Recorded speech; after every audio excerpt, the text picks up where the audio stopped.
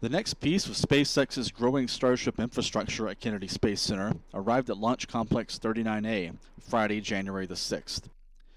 A carriage apparatus that will move up and down the nearly 500 foot tall Starship launch tower at Pad 39A departed SpaceX's Roberts Road construction site at Kennedy overnight.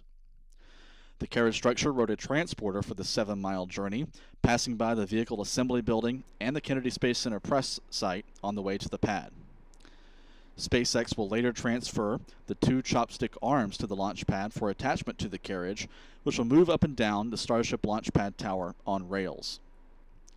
In recent days, crews at the launch pad were seen assembling a support frame at Pad 39A to connect up the various parts of the mechanized arm system.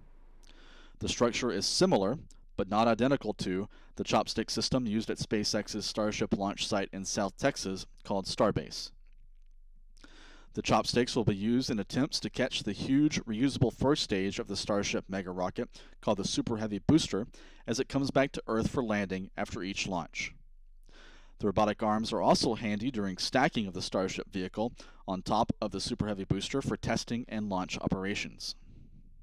The Starship will be the largest and most powerful rocket ever to fly, standing nearly 400 feet tall, with 33 methane fueled engines generating 17 million pounds of thrust at full throttle.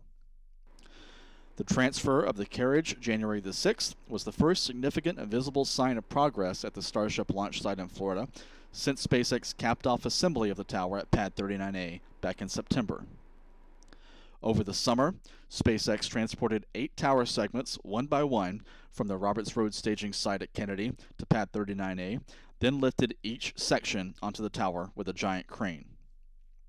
Since then, work at the site has been focused on outfitting systems within the perimeter of the sprawling seaside launch complex, rather than bringing in major new hardware elements.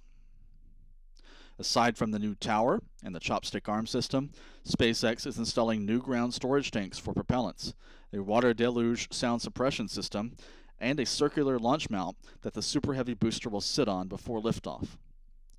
Pedestals for the launch mount are in place at Pad 39A, but SpaceX has not yet moved the mount itself over to the launch pad from its off-site fabrication facility.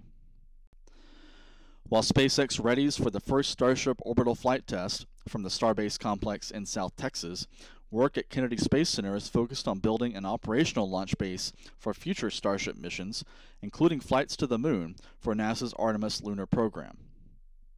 Eventually, SpaceX plans to construct a factory at Kennedy for Super Heavy boosters and Starship vehicles, which are currently built exclusively in Texas.